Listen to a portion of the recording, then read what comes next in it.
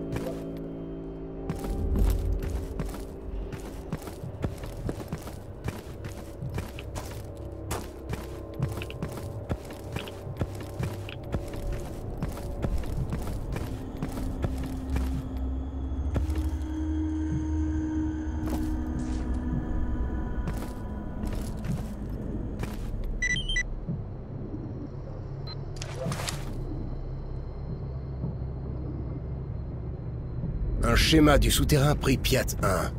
C'est la preuve qu'il existe bien un passage souterrain menant à Pripyat.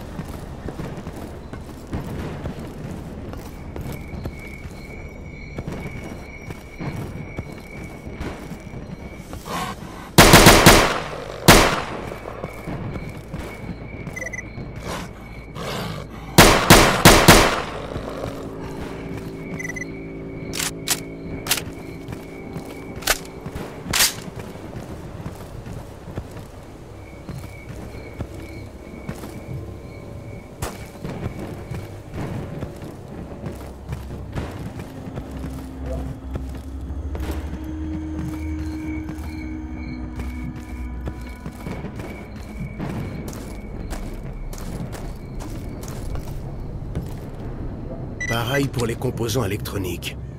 Mais le système de protection contre les émissions est intact. Qu'est-ce qui a bien pu se passer?